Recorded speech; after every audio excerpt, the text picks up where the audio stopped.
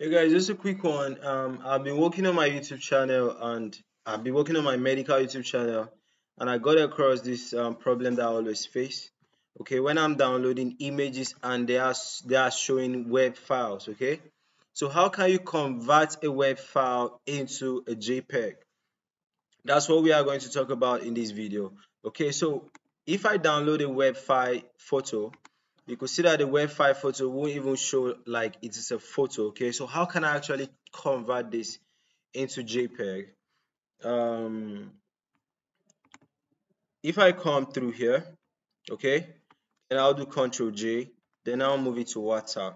When I move it to WhatsApp I'll put it. Alright uh, did it upload?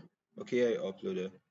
Then I'll download alright so when I download this image eh, from web, I've converted it to JPEG and I can now upload it into my YouTube channel. Okay, that's how to convert um, J um, and WebP files into JPEG and to be able to upload it on YouTube. Okay, so that's it, guys, about this tutorial. Just a quick error. I was still working on my channel then.